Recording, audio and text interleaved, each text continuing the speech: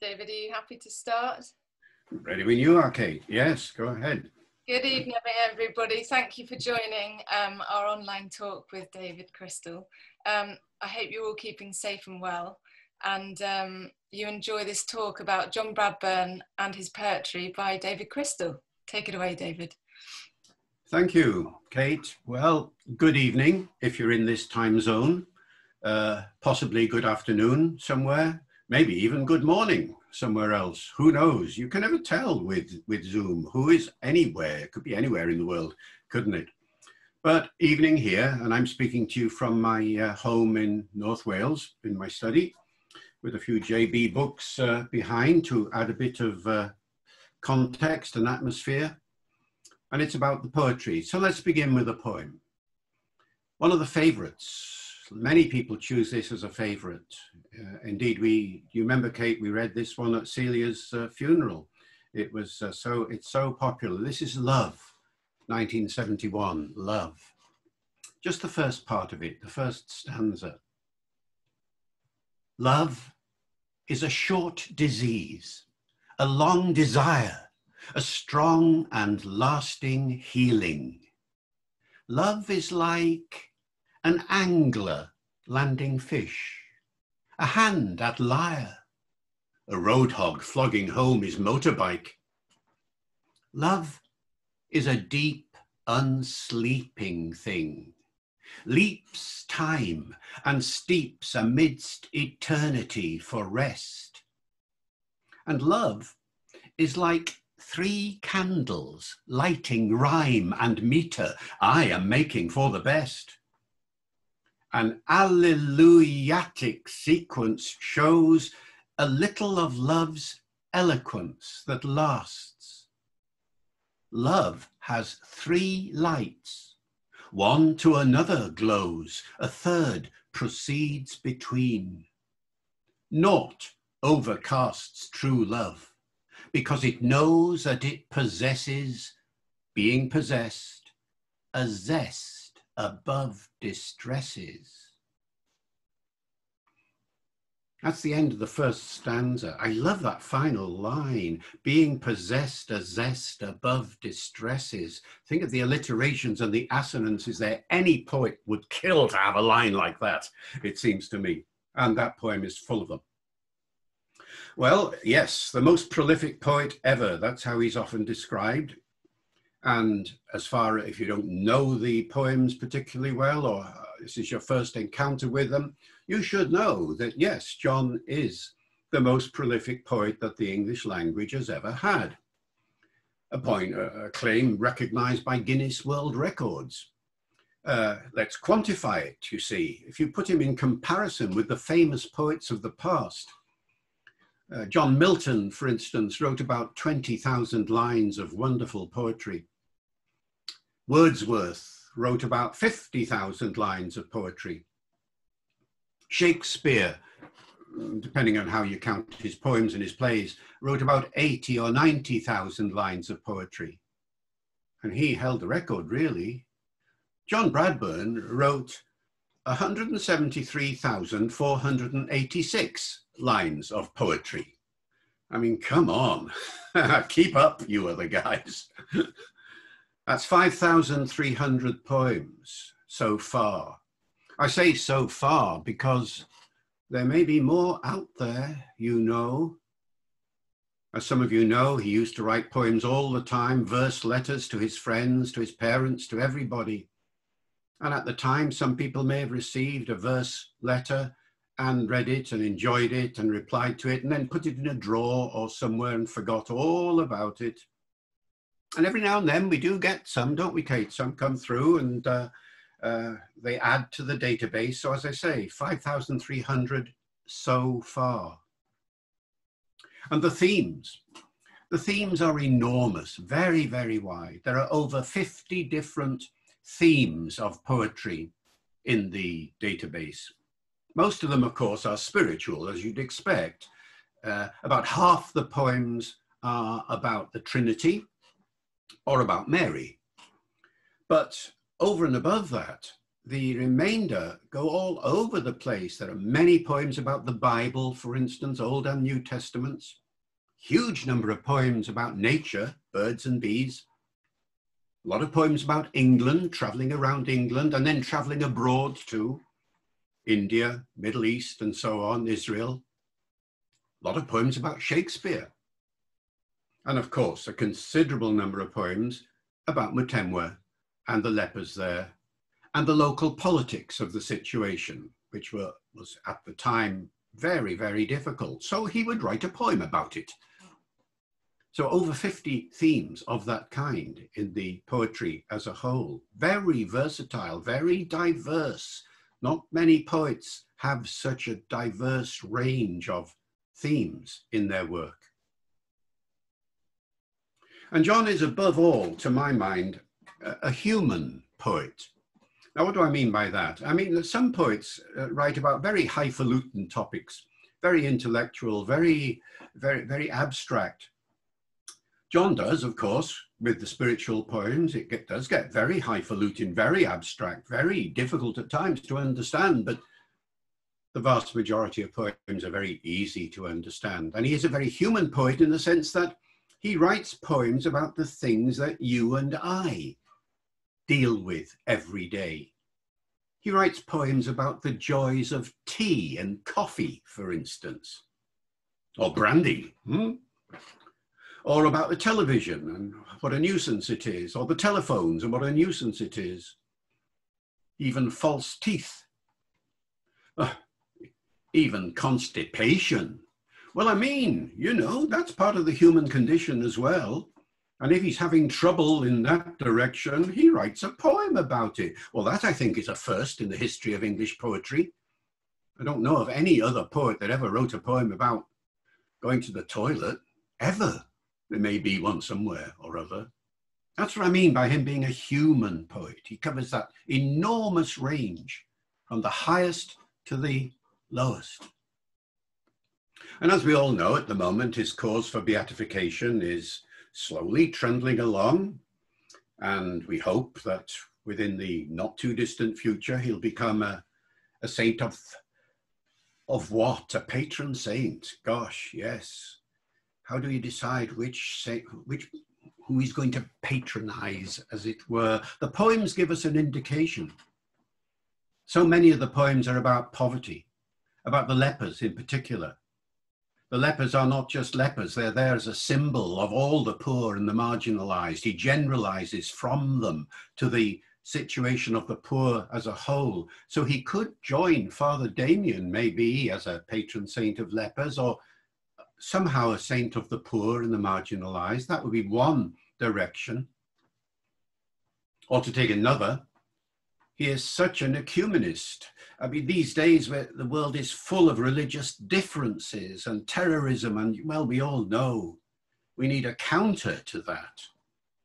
And the ideal counter is somebody who was able to reach into all these different religious traditions and use them in the poems and be proud of them all and bring them together that long poem of his, 10,000 lines long, called Ut Unum Sint, that they may all be one, illustrates the range, the way in which he dips into different religious traditions and makes them all inform each other.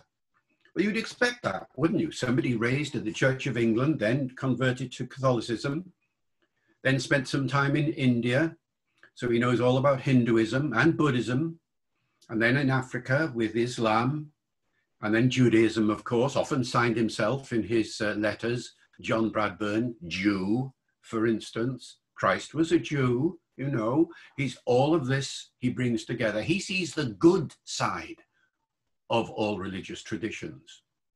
And we long for ecumen- ecumenical peace and peace generally. So he could be a patron saint of peace, maybe.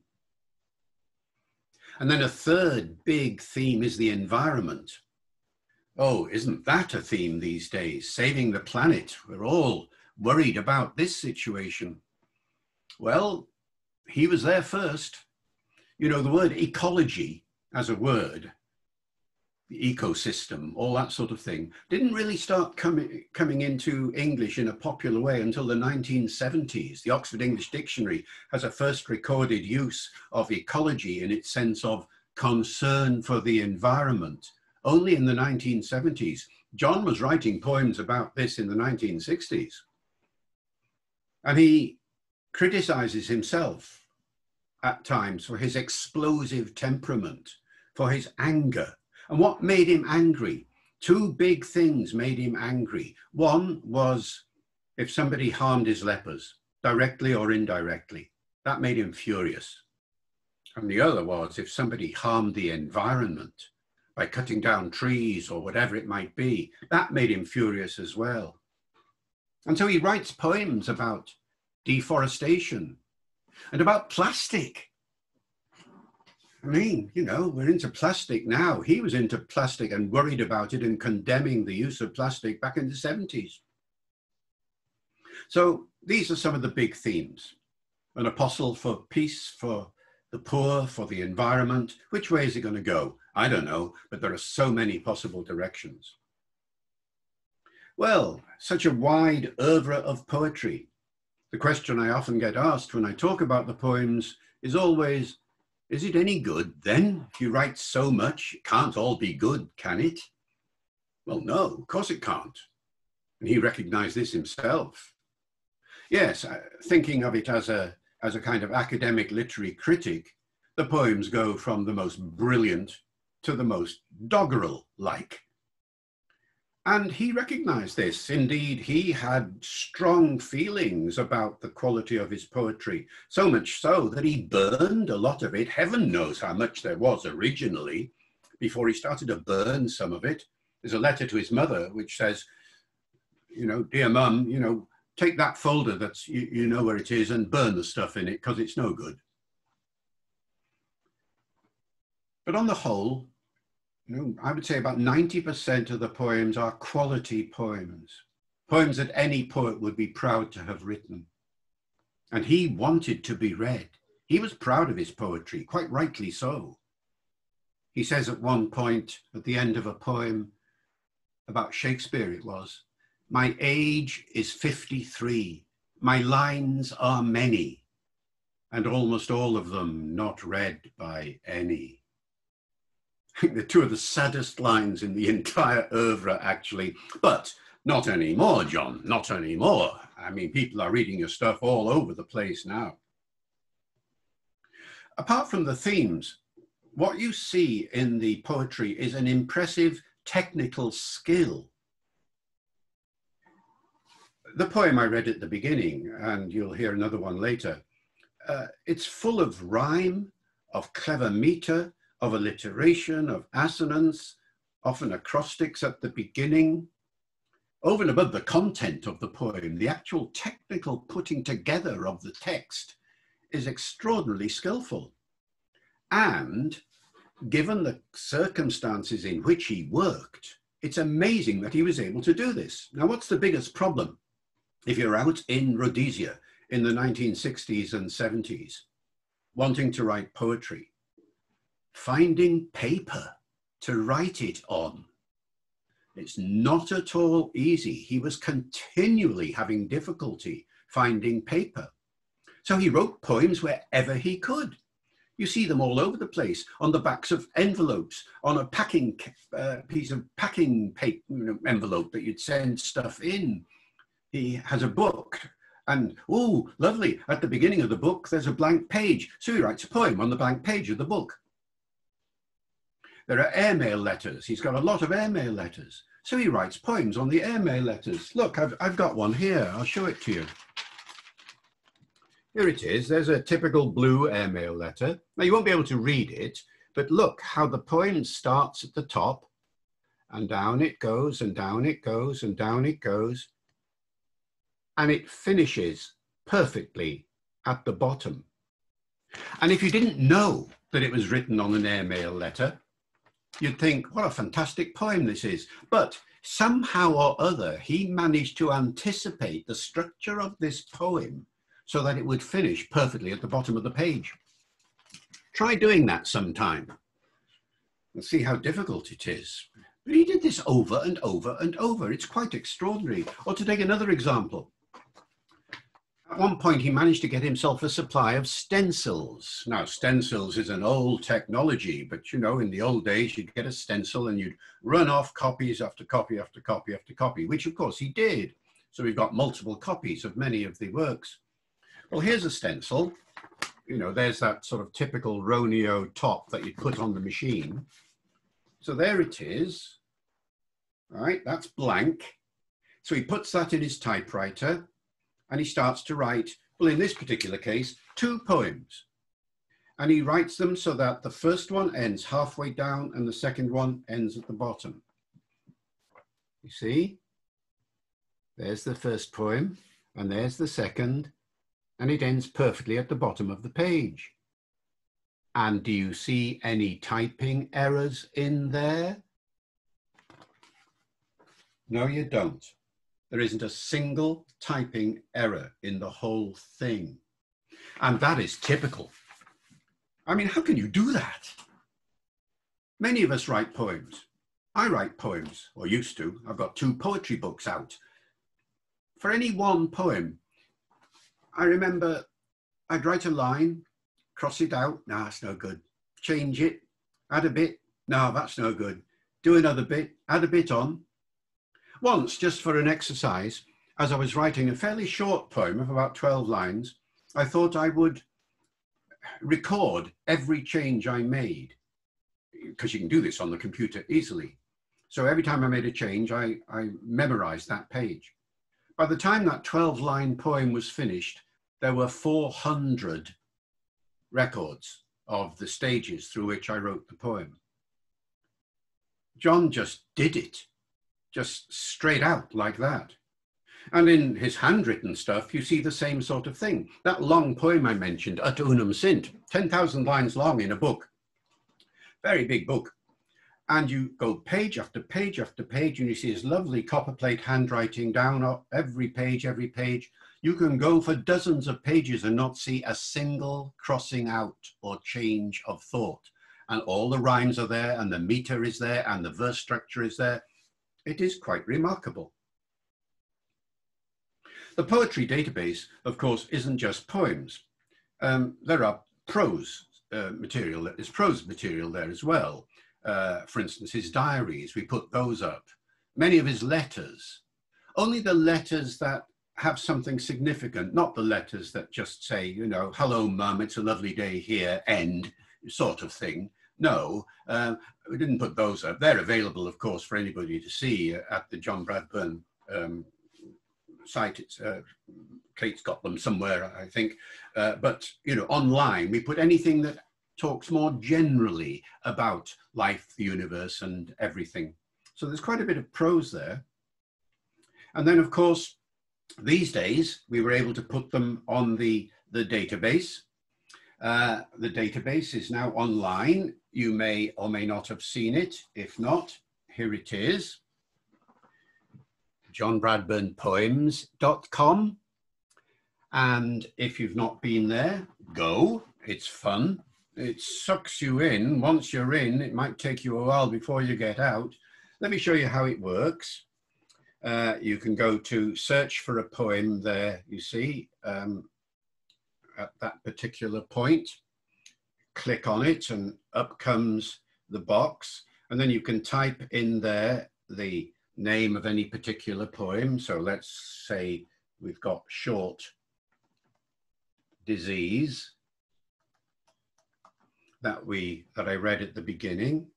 And you click on search and uh, then up will come. It always takes a, a, a minute if, um, depending upon the the nature of the link.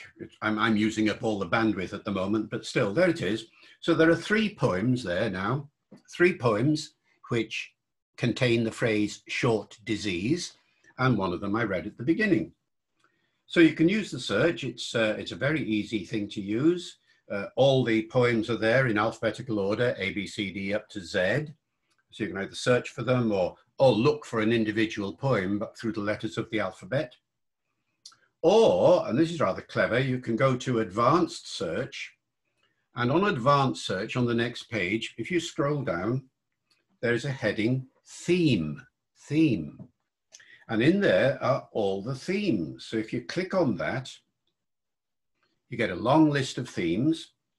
And now, if you want, for example, to find all the poems that are to do with, say, India or Middle East or Trinity or Mary or whatever, you just click on that theme and up comes all the poems that deal with that particular theme. This is very useful, especially for people who are interested in a particular aspect of John's poetry.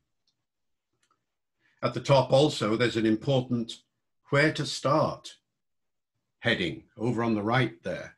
Um, and where to start is, of course, the biggest problem for many people. I mean, what do you do with you've got 5,000 poems and you want to start reading John? You don't want to begin with letter A and go all the way through. No, no, you need a way of sorting it. Well, one way, of course, is to look at some of the anthologies that we've done that are available through the JBMS at the moment. Uh, Songs of the Vagabond, the blue one there, is the one we did first, which is a kind of introduction to an array of the poems, um, you know, different, a few examples of each of the main themes. And then later we did uh, Birds, Bees and Beasts, which is all about the fauna and flora. And then another one, John Bradburne on love, because so many of the poems are about different aspects of love. Uh, John Bradburne's Mutemwa, a, uh, a, guide to the actual village in poems and, and prose. And actually on the database, I didn't mention this before, there's a couple of other things as well. If uh, I go to that poem again, Love is a Short Disease, um, we've done two things over the last few years. One is to add uh, a great deal of visual content to the site. Uh, every poem has been scanned so that you can actually see the individual text um, that the original text, like the ones I showed you with the, uh, with the letter just a little while ago. And also we've added audio to an extent. Now, Anne Lander, of course, has already done an absolutely fantastic CD, which I hope you've seen. And if you haven't, do get hold of it, which illustrates many of the examples of John reading his poems and singing and so on. And we'll perhaps hear a little bit of that from Kate uh, at the end of the talk. But in addition to that, Kate managed to get together all the examples of audio that we have available, um, all kinds of different qualities of sound and everything like that. I mean, some of it's quite good, some of it's not so good, but it's still wonderful to hear his lovely cultured voice uh, singing and chanting and, and reading the poems. And um, the uh, all these audio files are now available on the website. Um, you, you go to a particular uh, text. Well, I was searching for one just before and I've lost it now, but it'll come back in a minute. Excuse me a second.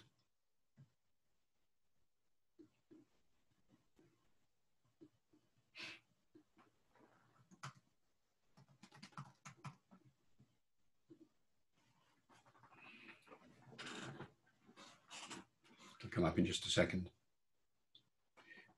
And the, the, reason why we actually did all the scans was because as part of the cause, it's important to have every piece of John's writing available uh, for the theologians to actually read and check that everything's okay as far as the uh, canonization process is concerned. Oh, there we are, it's come up now. So here we are. You see, there's that love poem again. You see on the right, there's a little uh, piece of text there. If I click on that, up comes the original typed version that he himself typed, you see. So there's one of those on almost every page. We don't have copies of absolutely everything, but we've got copies of about 99% of it. And then on the left, we've got the an audio clip if there's uh, if there is an audio version available, you'll be able to click on that as well. So if you want to get into John's poetry in more detail, then where to start, go to the where to start section of the website and it will give you the contents of all the books I've just been mentioning. And you can either check those up online or get hold of a copy from the JBMS. Um, if you want something a bit more, uh, a bit more heavyweight, as it were, you can go to my book, which is also available through the JBMS, uh, My Life in Words, um, A Life Made of Words, Poetry and Thought of John Bradburne. This is more a kind of critical, uh, literary critical and stylistic account of the poetry. Uh, so that's available. And then the other thing you can do, of course, is simply read the individual poems and read them aloud. You know, he writes poetry not just to be read, but to be heard. Do you remember, you know, being possessed, a zest above distresses? I mean, that is just amazing to, to be heard, not just read. And indeed, next year, uh, you'll be able to hear a fair number of people reading material of this kind. Kate has this had this uh, lovely idea of leading up to the 100th anniversary of the birth in June to have 100 days of po poetry reading, 100 days leading up to that 100th, uh, that, that moment. So there'll be a poem a day. I've selected the poems and sent them to Kate, and Kate has circulated them. And some of you, I think, already have chosen a poem that you'd like to read on a particular day. Roger McGough is going to start us off. People may know Roger from his Poetry Please uh, on the uh, on the radio and uh, other programs, and of course, a great favorite uh, amongst lit in literary festivals. Uh, good old friend of mine, we went to the same school actually, once upon a time, Christian Brothers School. So uh, you'll be able to hear an awful lot of the poetry in the 100 days leading up to the uh, uh, anniversary. So one more thing before I stop. I mean, the idea was for me to talk for half an hour and then we could have a bit of discussion and question time and things like that.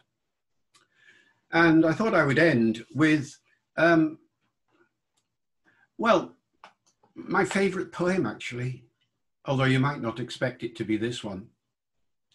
See, when I talked about themes, one category I didn't mention was jocular themes. John had a remarkable sense of humour. Those of you who know him will be able to report on this afterwards if you like. Um, but it comes across over and over and over in the poetry.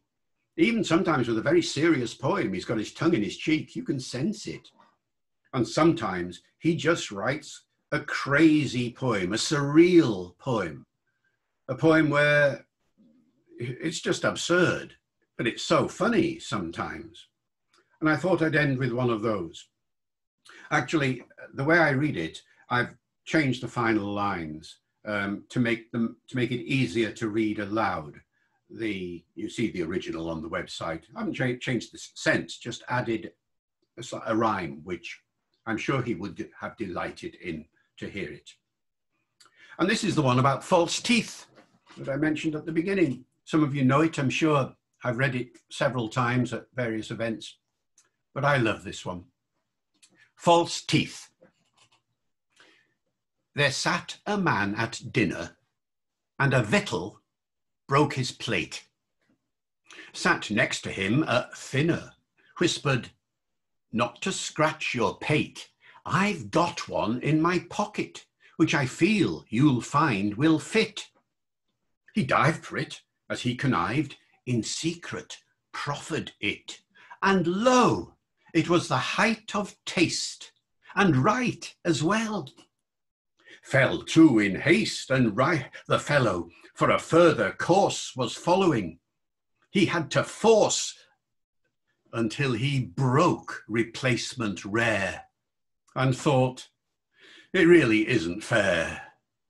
But, saith the breath next door, there, there, I've got another nigh the same passed it the hand. The hand did claim another winner.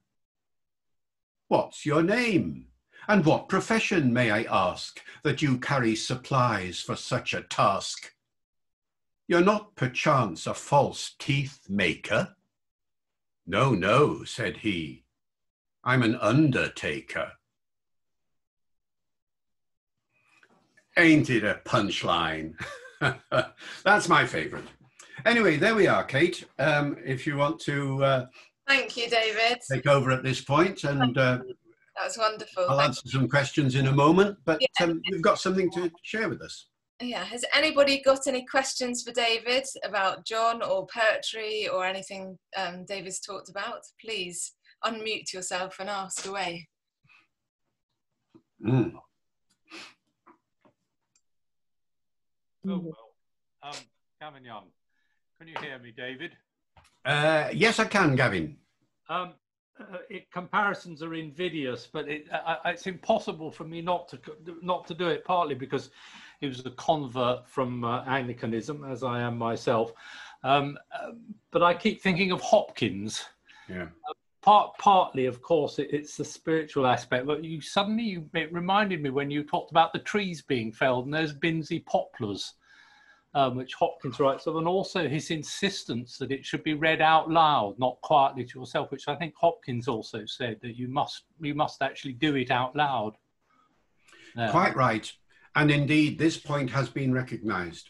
Oh, In fact, the Hopkins Society of Ireland invited me over, oh, in 2012, I think it was, to give a talk about John, comparing him to Hopkins. Um, and uh, I wrote a paper about it, and it's available if anybody wants to read it. It's on my website, uh, davidcrystal.com. You can read it there. Um, and the discussion was entirely about the parallels that you quite rightly mentioned, Gavin, not just in terms of themes, uh, but in terms of, you know, the alliteration that they both use and all sorts of uh, similarities. So yes, a big, big parallel uh, over and above the, the background of the two um, and their thematic interests. Now, it's not just Hopkins. Uh, lots of other people have been. Um, I was up at a conference in Durham last year uh, where people were talking about, you know, Catholic poetry and its traditions. And people who know far more about this than me, because I'm, I'm not a professional literary historian, I'm a linguist. Um, and people who were were saying, you know, there are parallels here with George Herbert, for instance, the metaphysical poet from the 17th century. And just uh, last year, I was in touch with um, uh, somebody who has been uh, writing a book on John Henry Newman. And Newman, of course, wrote quite a bit of poetry as well, as well as his prose. And we were comparing notes about that. And Newman, too, was such a human poet. I mean, some of his everyday allusions and the way, the idioms that he uses and the down to earth way in which he talks about difficult themes.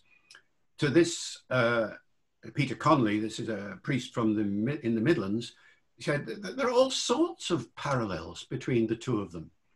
Um, and so I think as people get to know John's poetry more and bring it into the context of their own favorite poetry of the past and their own favorite poets, I think we're going to see more and more. And I'm not surprised because John himself was an avid reader.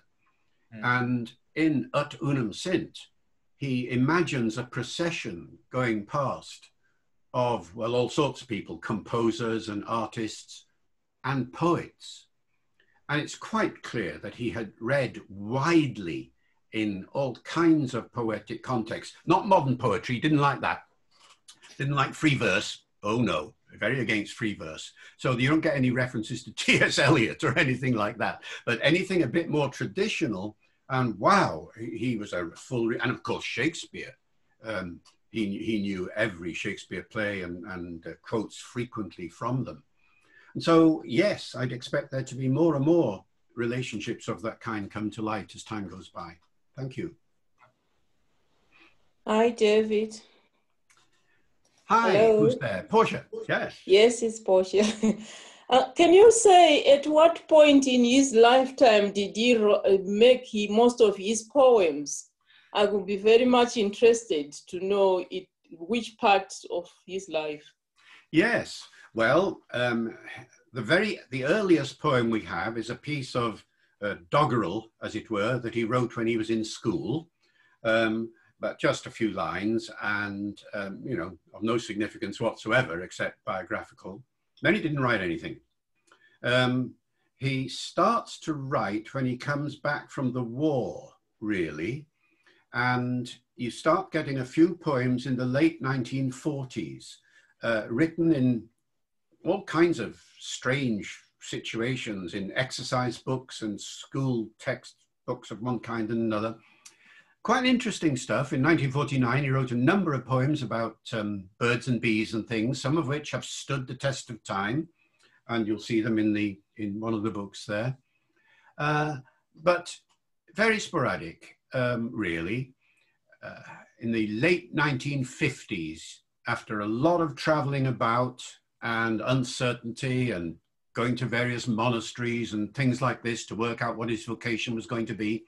Um, he first starts sitting in a hermitage in Devon, really, I think, uh, to start writing some serious poetry. And we get a lot of poems in 1957, 58, 59, uh, written in England. And then there's a lull, and then he ends up in Rhodesia.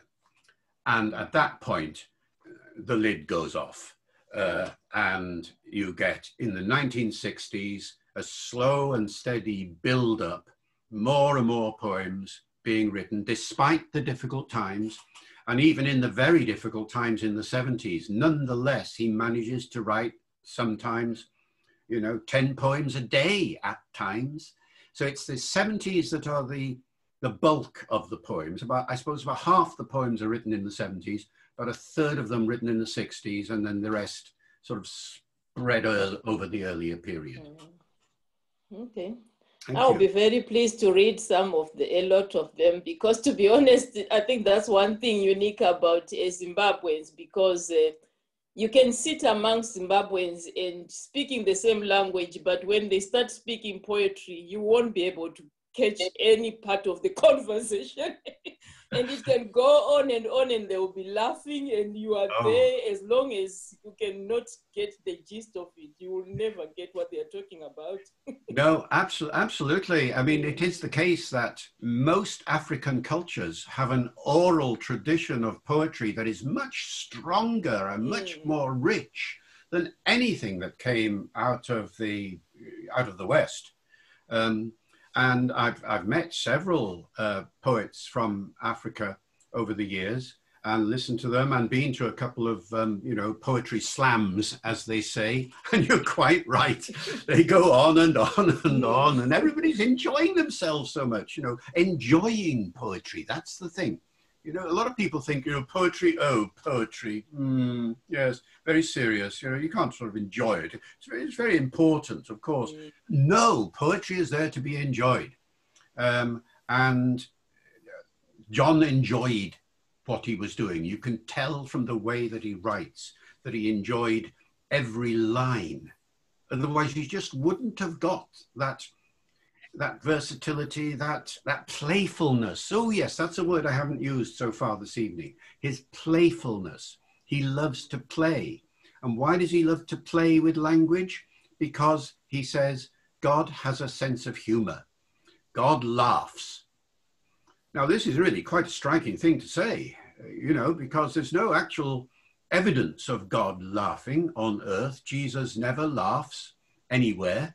Uh, he cries, we, we told he weeps, but he no indication that he ever laughed, but he must have done, as far as John's concerned. And he has this on best authority because uh, he would he, he asserts that Mary told him uh, that that laughter is the is the norm for the angels and everybody, and so he he puts that that playfulness, that ludicity into his work in the most noticeable kind of way. And I think it therefore ties in very much so with the joyfulness that you see in the African poetic tradition. Thank you. Thank you. David, am, am I gonna? Oh. Who's, who's there next? Anthony, was it? Oh, or was it Dave, Can you hear me, David? Yes, I can. Yeah, thank you very much for for the talk. Uh, uh, it's wonderful. Um, thinking about the post canonization, you know, um, um, he's obviously, you mentioned Damien of Molokai, so we've already got a patron saint of lepers. His vagabond nature makes him very close to a great French saint called Saint Benoit Labre. Uh, was a tramp. It was a, a, a, a tramp. And of course, his trolling round monasteries as a kind of girovague makes him very close to Charles de Foucauld, you know, who was murdered in Tamanrasset in Algeria.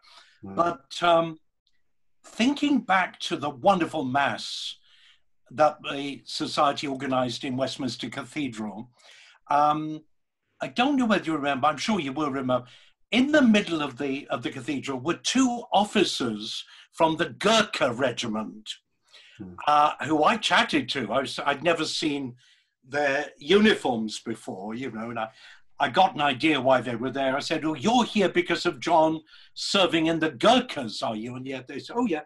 Mm. So obviously, I'm thinking, were he to be made patron saint of the Gurkhas, it would surely be the first regiment of the British Army, or indeed any other army, with a patron saint.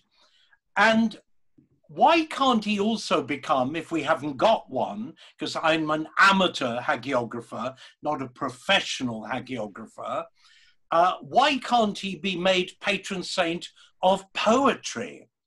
Of poems, sorry, poets. you're, you're absolutely right. And of do course, we, do we no, have a there's no, no patron saint of poets or such? Yeah, okay. Have we got one? If we haven't got one, then he must become one. Yeah, well, that's a very good idea. Uh, of course, you can have more than one saint of course you can. Of course you can. But um, Didier, uh, the parallels with the the French examples there. Do you have a comment on that? Unmute yourself. uh, you say the parallel with. well, for for for for uh, lepers of well, uh, ah, Damien, of course, is Belgian. Uh, the two French I was thinking of are the uh, vagabonds. We have, uh, is it Joseph Benoit Labre? Yeah. And of course, uh, for um, Girovague, that's yeah. men in their life trolling around different monasteries, being thrown out of all of them. As okay, uh, Didier, what do you, what do you think? Charles de Foucauld. Yeah. The, the parallel with uh, uh, Saint Benoit Joseph Labre and uh, nearly Saint uh, Charles de Foucauld yeah. uh, was made uh, as soon as 1052 uh, by uh, the responsible of in Louvain oh, for the father yeah. of Sion when John decided to leave and, and to, to go to Holy Land and he wrote a letter on which it's written is a kind of Saint Joseph Benoit from de Foucauld. So that's it was in 1952. So yes. all right, thank you. Thank yes.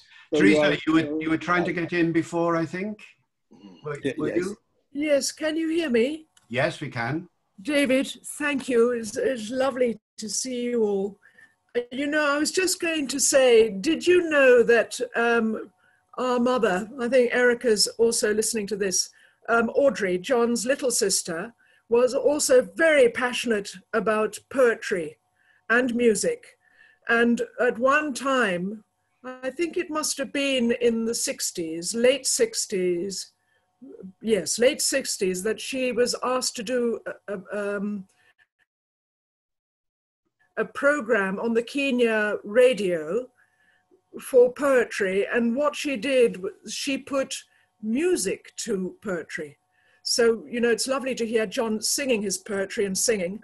But my mother, Tiggy, Audrey, would um, loved loved the poetry side, but also the classical music side, and she combined the two.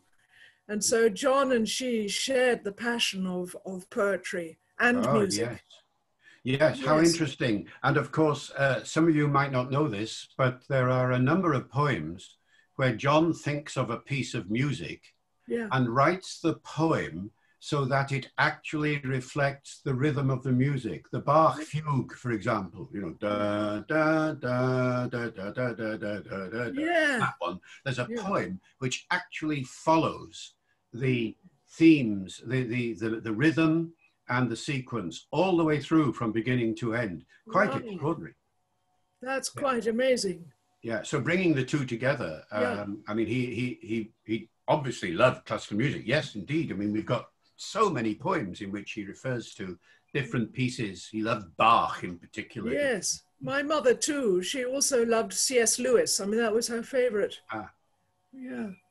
Right. I think that, that John and Audrey were very similar in that way, and were their they? faith, of course. Yes. Oh, thank you. Yes. May I add, no, may I add something all. about John as patron for poets? Uh, a, a, good uh, 20th century British theologian, uh, Robert Murray, uh, wrote about Saint Ephrem, the harp of the spirit, that he was a good theologian because he was a good poet, and he was a good poet because he was a good theologian. And I think this definition fits very well also for John. Lovely, thank you. Perfect parallel, indeed.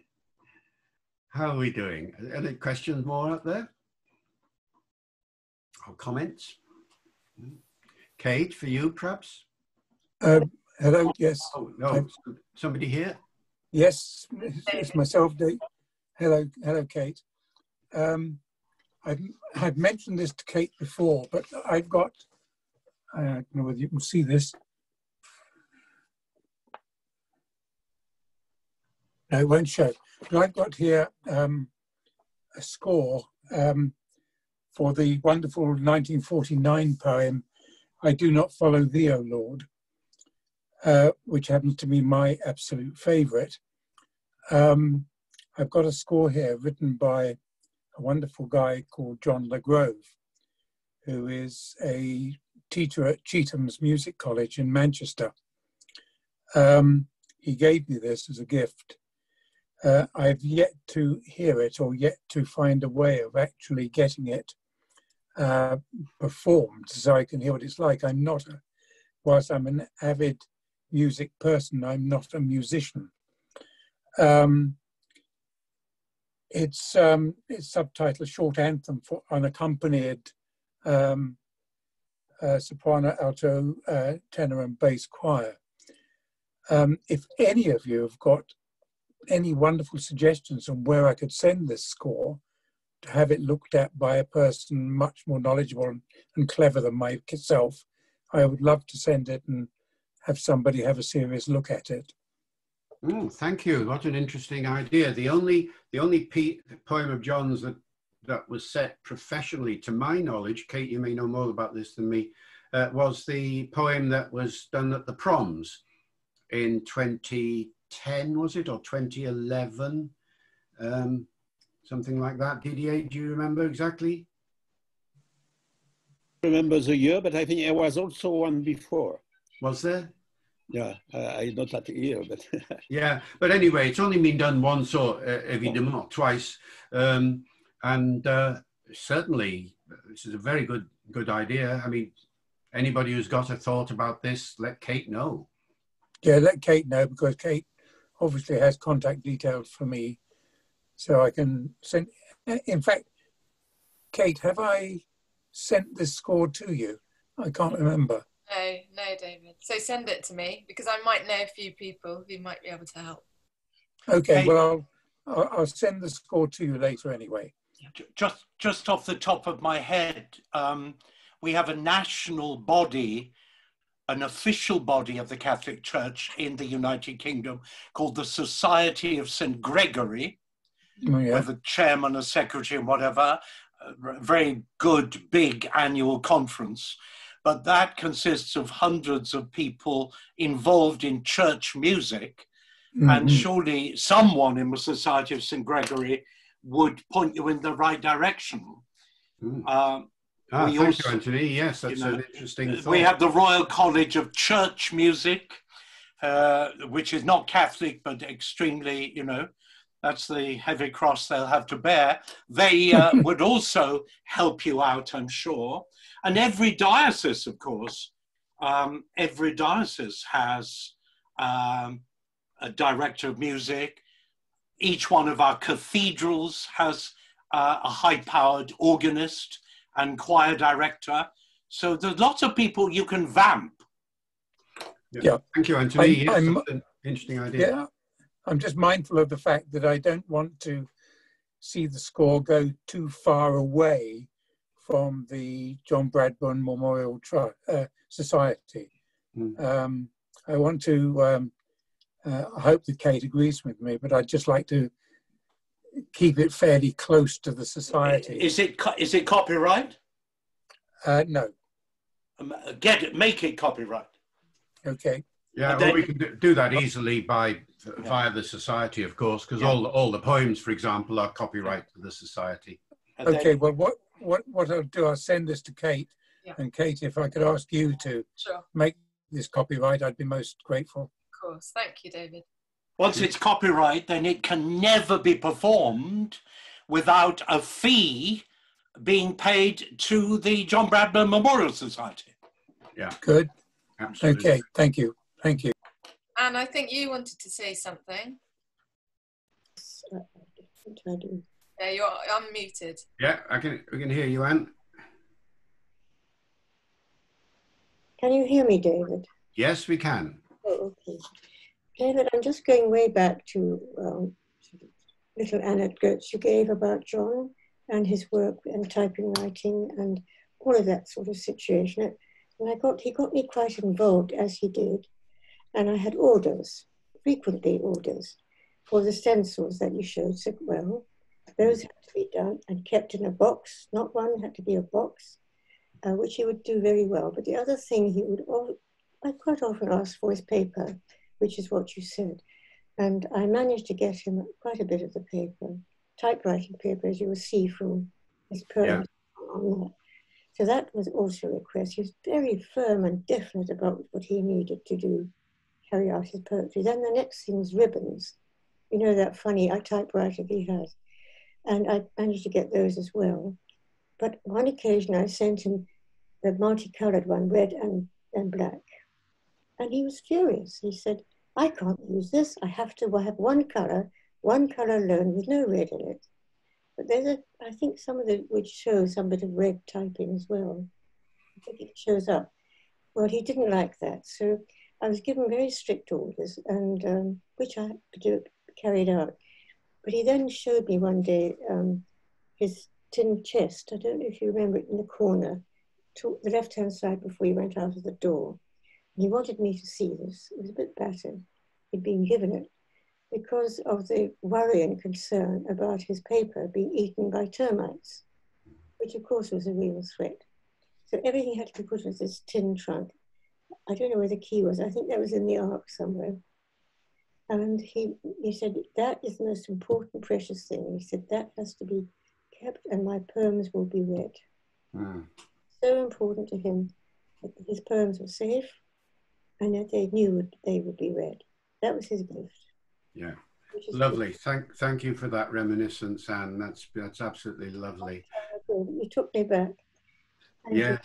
Interestingly, of course, despite his antipathy to the two, two color ribbon, he does occasionally uh, seem to control it in the sense that you get some lines in black and some in red. And it does seem as if uh, at a certain point he thought, hey, I might be able to play with this a little, you know.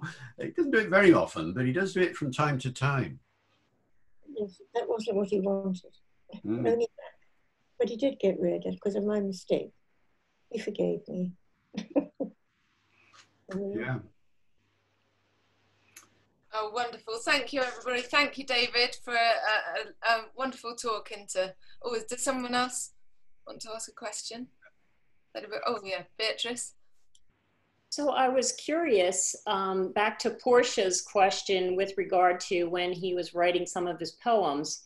And when he came back after after fighting, do his poems at that time reflect some of the the things that he would have seen and, and had to cope with and using poetry to, to deal with some of the, maybe some atrocities that he saw?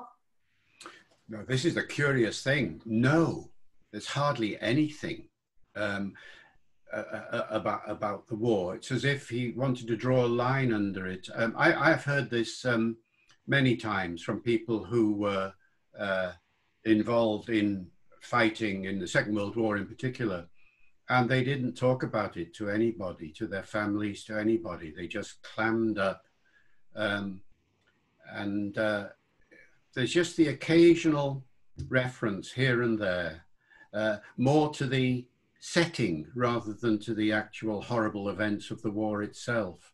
So, no, nothing much there at all. It's not surprising, surprising and yet understandable, really.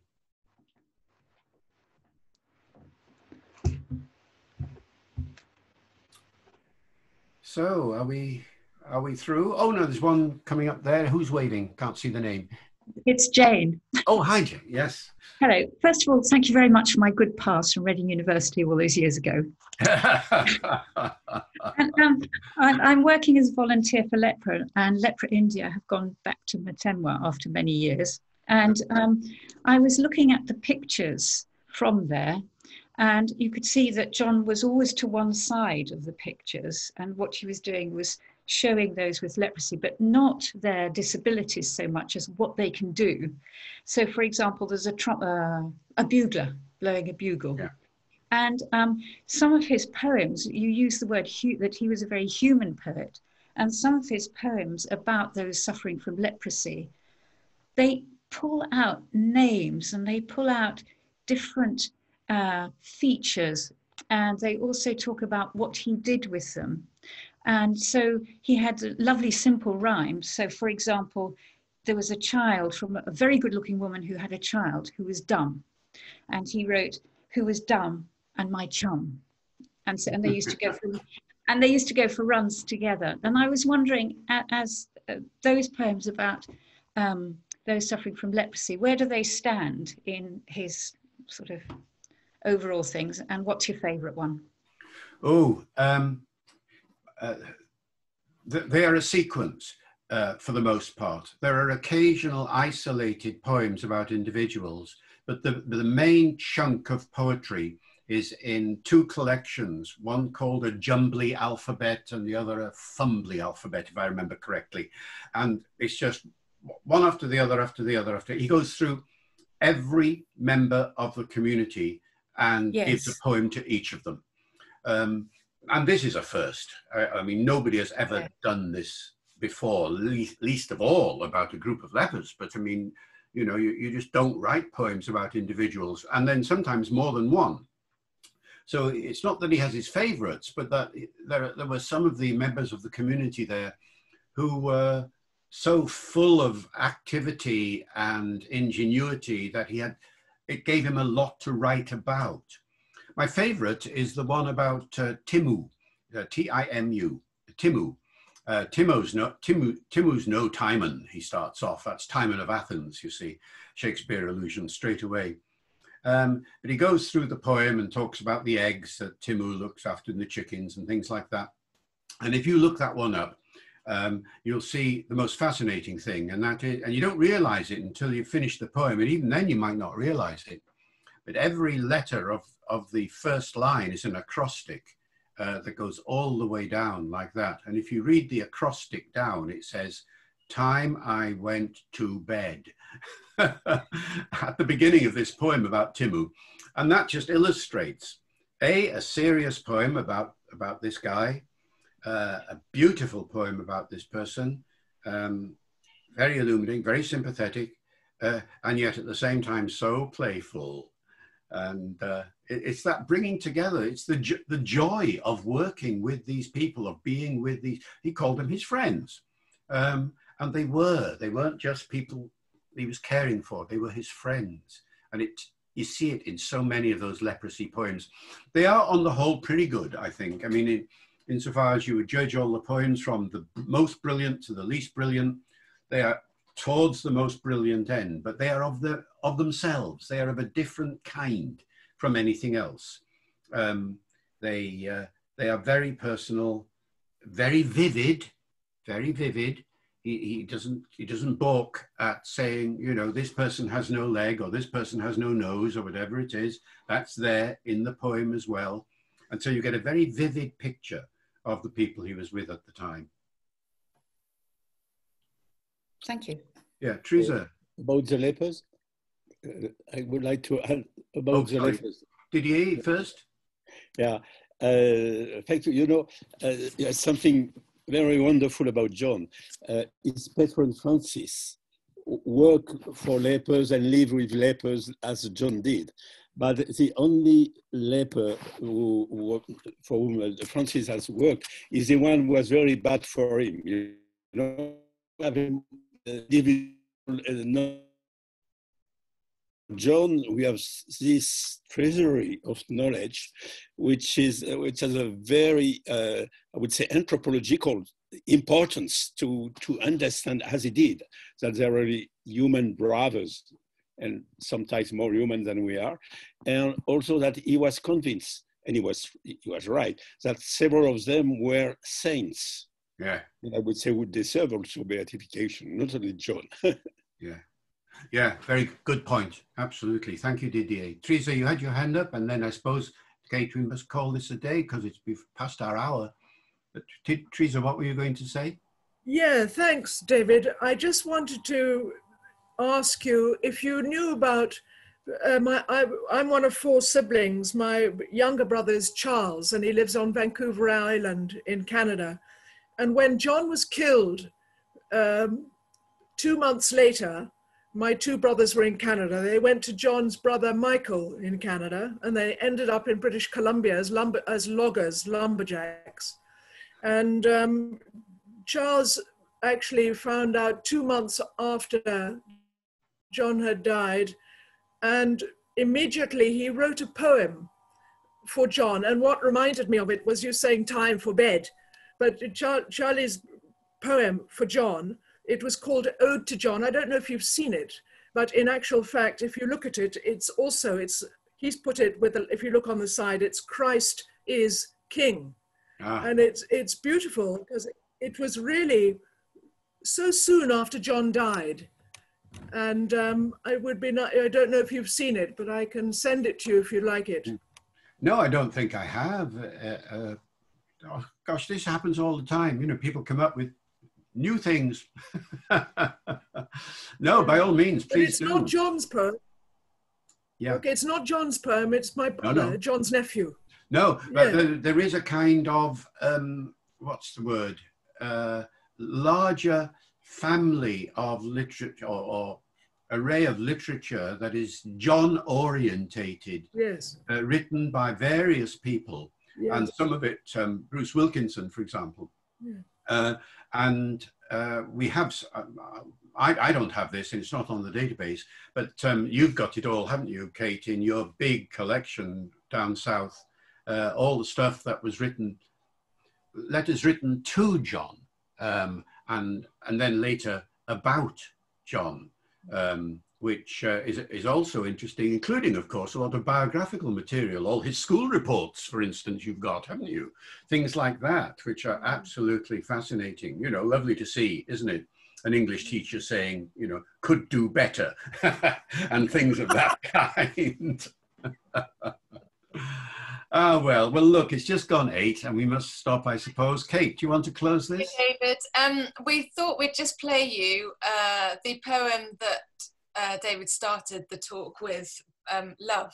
So I'm just going to put that on. Thank you, David, for the talk. Hope everybody enjoyed it. If yes, anybody would like to order any of the books that David's written behind him, um, please go on the JBMS website, the John Bradburne Memorial's website. Um, we've got them all available, and the Alive to God CD, which is what this poem is from. So I will play that now. All right. Thanks, everybody.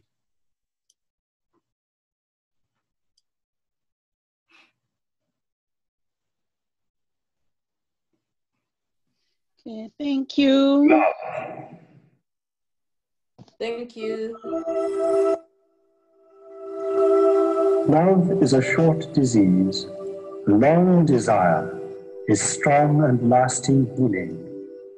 Love is like an angler landing fish, a hand at lyre, a road hog flogging home his motorbike. Love is a deep, unsleeping thing, leaps time and steeps amidst eternity for rest. And love is like three candles lighting rhyme and meter I am making for the best. An alleluiatic sequence shows a little of love's eloquence that lasts. Love has three lights, one to another goes, a third proceeds between. Naught overcasts true love because it knows that it possesses, being possessed, a zest above distresses. Or as to the caress of lightsome love, steady as his unflickering a flame, no less is human that than is above proud condescension one divine we claim. The flame goes out alone to flame the fire of three that shall not ever be put out, even by my shortcoming in desire, not yet perpetual, beset by doubt. No mortal man should ever be retired from obligation to proceed in joy with loving, since by loving he was sired, and love may be immortally his ploy. As honey is the sweetness of the bees, and wax the sealing of it, love doth please, and both can melt, and so may hearts with ease.